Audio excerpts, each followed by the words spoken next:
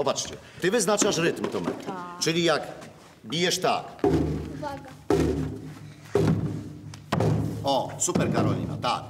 Idziecie pał, pał.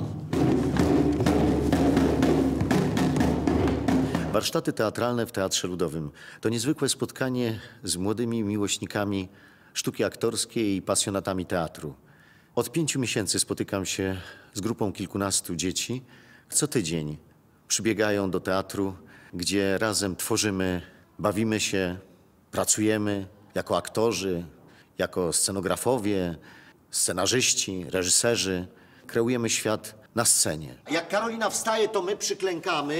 Uwaga! Karolina wstaje, to my przyklękamy. Tak, patrzymy na Karolinę. Karolina wstała. Taka cykliczność spotkań, rozłożona praktycznie na cały sezon, daje możliwość pracy z każdym z nich oddzielnie. W grupie, ale jednocześnie oddzielnie. Można widzieć rozwój każdego z tych młodych artystów, bo takimi są. I padłaś, padłaś. Karolina jeszcze bardziej. O, I wiatr, który cię wywiał. I idziesz na przekór wszystkiemu. I znowu wiatr. To są te duszki dwa. Dwa, dwa duszki ciekawe, co to, To są dzieci. tak? To są, to są dzieci zagubione w zaspie śnieżowej. Ale skąd wam przyszedł pomysł, że to akurat w górach jest? Może to być na przykład na jakiejś ośnieżonej polanie, może być w Ale- jakimś lesie. Że ona mogła iść na pustynno i się tak no, zasłaniać. Ale wy... Mogła z gorąca upaść, że było tak, nie miała wody. Jaki mógł być, być to duszek? Na przykład duszek z magicznego kwiatku. O, magicznego kwiatku. Świetnie. A na przykład jakiego? Że na przykład jak się dotknie kogoś, to on się zmienia w księżniczkę. Chodzi o to, że tak naprawdę to było wszystko we śnie Karoliny, że ona przyjeżdża do tych gór, a tak naprawdę potem nas spotyka. A baśń jest prawdą, czy jest snem, czy jest wymyśloną? Nie wiadomo! No właśnie. No jak Nie wiadomo! Przygotowujemy przedstawienie, składamy je z tych wszystkich kilkunastu spotkań, które już były. Sam jestem ciekaw, jaki będzie finał, na który serdecznie Państwa do Teatru Ludowego w przyszłości zapraszam.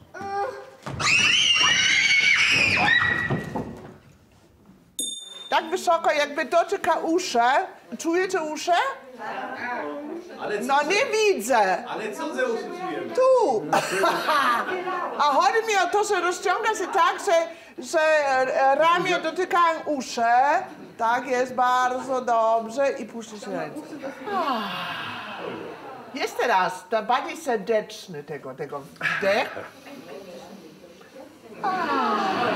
No i możemy śpiewać. Ja,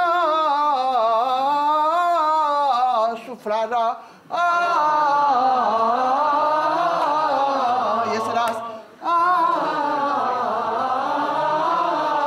I malujemy. A,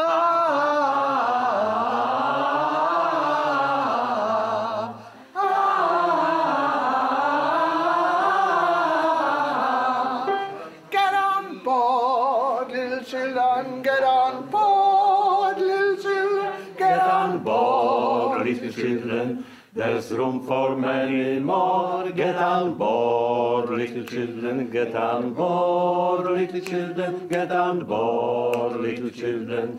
There's room for many more. The gospel train is coming. I hear it does at hand. I hear the car we're rumbling and running through the land. Get on board, little children. Get on board,